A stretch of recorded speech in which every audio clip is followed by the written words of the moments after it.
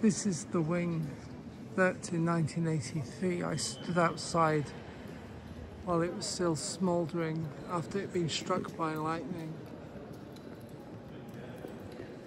I was worshipping at Dale's Bible Week in Harrogate at the time, and the people there, the teaching said it was a judgment of God for appointing an unbelieving bishop, I think in Durham. And that's where I'll go next. Yet they rebuilt it in some ways better than it was before, and I think it refocused, refocused repurposed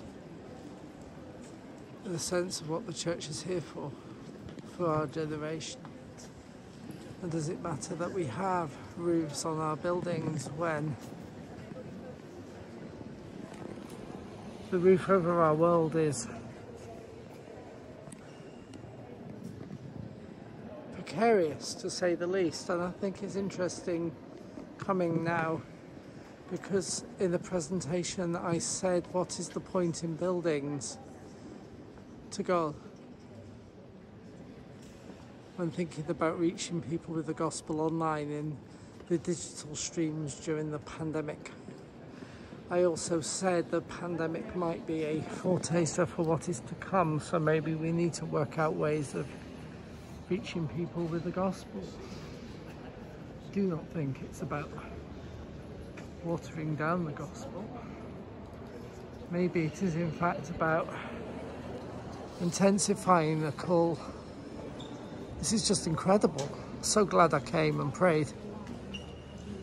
So glad I came today to see this and will share it in this grand building that is York Minster that was so part of my growing up.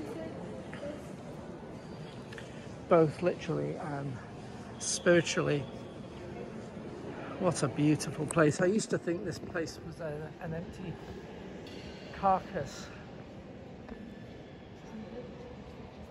Grand walls with nothing happening in them, but there's plenty happening.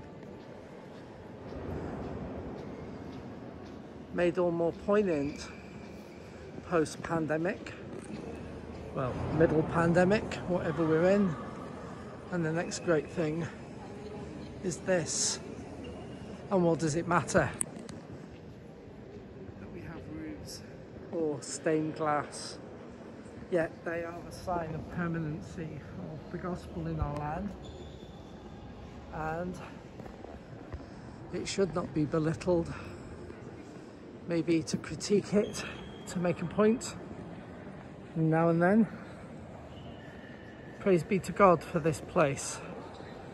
For the centuries it has stood here, the beacon that it is in Yorkshire and beyond.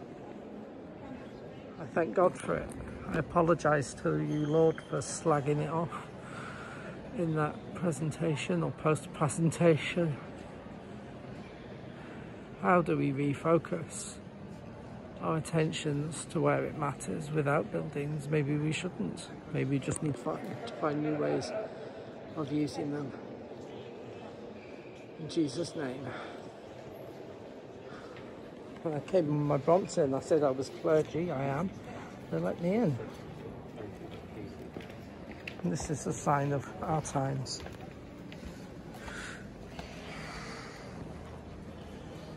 I want to share this with people. Oh, despite my skepticism of buildings,